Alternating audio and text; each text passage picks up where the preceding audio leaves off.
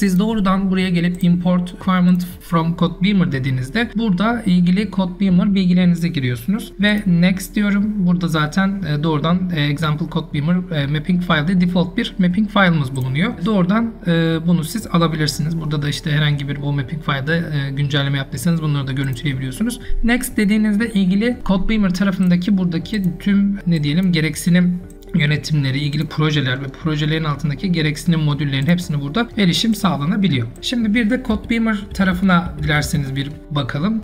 Medini'yi tekrar açtığımızda buradaki 3 projeyi burada görüntülüyoruz. E, bu 3 projeden hangisini kullanacaksanız üzerine tıkladığımda yine ilgili projenin aslında içerisine girmiş oluyorum. Şurada görmüş olduğunuz gibi ve projenin tracker kısmından ilgili hangi e, elemanlara gireceksek bunu seçiyoruz. Buradan Custom Requirement Specification'a tıklıyorum. Buna tıkladığımda burada hemen bir örnek beni karşılıyor karşılıyor. Ee, burada ben şu an belli örnekleri e, buraya ekledim. Burada bir tane üst seviye hemen bunun alt seviye bir gereksinim ekledim. Bunu da Medine Analyze aktardığımızda nasıl bir görüntü oluyor bunu da görebilmek adına. Diğerleri de aynı seviyedeki gereksinimler. Hemen sağ üst köşede Table View'imiz var. Buna tıkladığımızda da bunu tablo olarak görüntüleyebiliyoruz. İlgili 11.08, 11.05, 11.04 bunların ID'leri, statüsleri, type'ları, kompleksitesi, e, buradaki oluşturulmuş olan assign tool'ları, team, e, submit e, by deyip bunları kim submit etti. Bunların her birini burada görüntüleyebiliyorsunuz.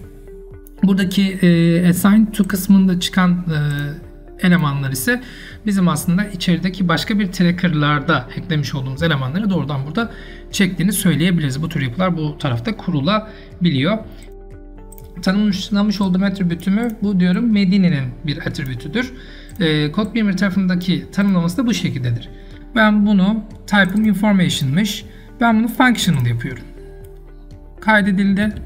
Geliyorum Medine'ye.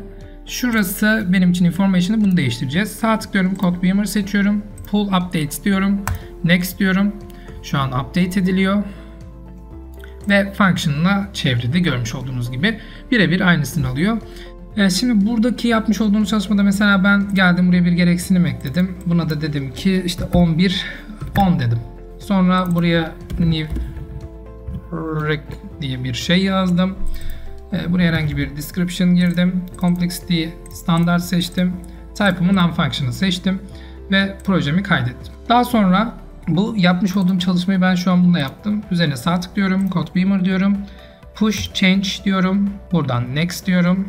Şimdi senkron oluyor Codebeamer tarafıyla. Finish dedim. Tekrar Codebeamer'a geldim.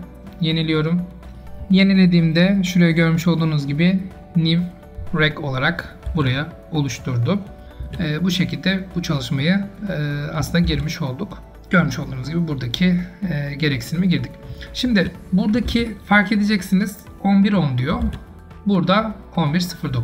Ve bu çalışmayı yaparken aslında biz burada bilerek bu şekilde ekledim. Buraya gereksinim ID'sini eğer buradan türetiyorsanız buraya girmeyeceksiniz. Çünkü asıl gereksinim yönetiminin sağlandığı yer CodeBeamer. CodeBeamer bize bu ID'yi atacak. Dolayısıyla burası boş bırakıp halletmeniz lazım. Daha sonrasında buradan CodeBeamer herhangi bir entegrasyon yapınız. Ee, bunu zaten e, tekrar update ettiğinizde gördüğünüz gibi burada 11.09'u zaten otomatik çekiyor.